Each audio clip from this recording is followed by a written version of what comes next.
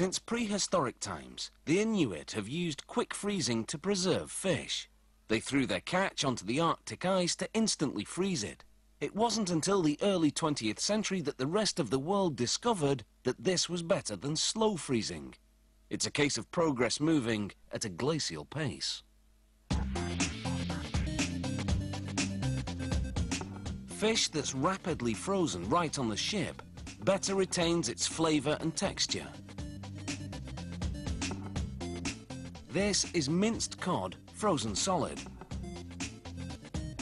It underwent quick freezing in China and was shipped in this frozen state all the way to this Nova Scotia facility, where it will be turned into fish sticks. The fish blocks are loaded into a machine. A powerful ram forces the blocks through knives, which slice them into logs that are 48 centimetres in length.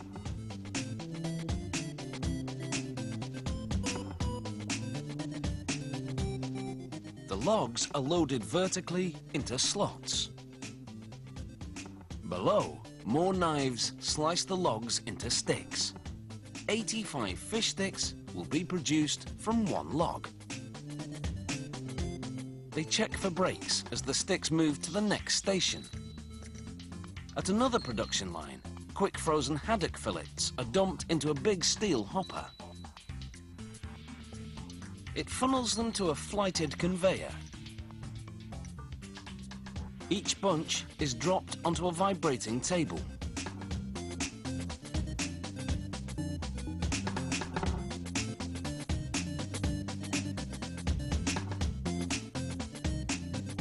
The vibrations separate the fillets as they move into lanes and shuffle down to an inspection station where flaws can be easily spotted. Now, it's time for a hot shower. It lasts just a second. The hot water melts the fillet's protective glaze, but doesn't thaw the fish itself. Deglazing allows the coating mixture to stick to the fish. The fish sticks then travel through a curtain of batter made of flour, water and spices.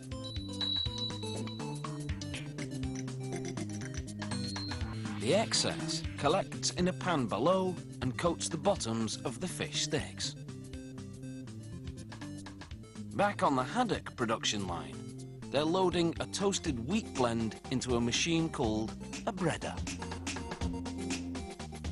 It creates a thick shower of crumbs below that coats the fillets evenly as they journey through.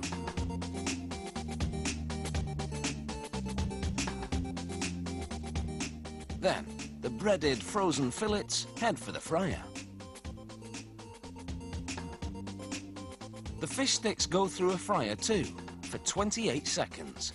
Just long enough to cook the outside coating, but the fish remains frozen on the inside creating what we all know as fish fingers. With the coating baked on, the fish fingers and fillets are now en route to the freezers. Meanwhile, on a third production line, oil and red peppers go into a high-speed mixer. Some parsley is added for seasoning.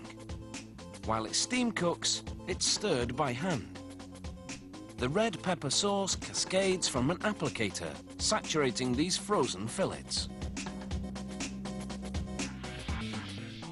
This coating sticks without being fried, so the fillets head straight for the spiraling freezer. The fish fingers and breaded haddock are in similar freezers. After 45 minutes, the haddock slides down a chute, which weighs it into portions. Heated jaws seal the banks.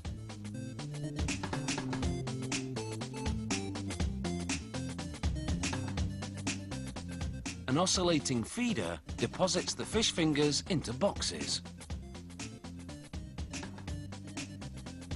One last inspection and they're ready for the shops. The peppered fillets are vacuum packed and this meal is sealed. And now, no matter where your tastes lie, there's plenty of fish to fry.